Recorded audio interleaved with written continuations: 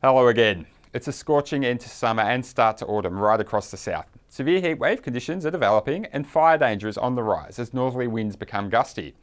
In southeast WA, the fire risk today reaches catastrophic for the goldfields and the Eucla as temperatures soar into the mid 40s and humidity drops very low, with fire weather warnings current for many districts. These conditions will remain through until the weekend with the passage of this low pressure trough.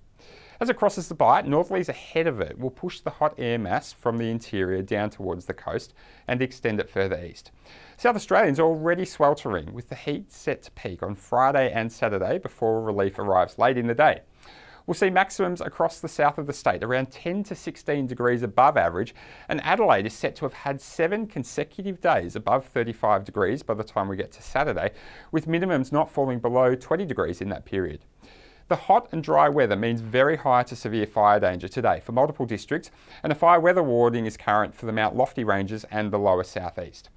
Very high fire risk extends across Victoria as well, where tops in the mid to high 30s are already extending across the south. This persists into Friday and Saturday with those mid to high 30 maximums pushing into southeast Tasmania as well. Fire danger will reach very high to severe across Victoria and parts of Tasmania, where a total fire ban has already been declared for the next two days.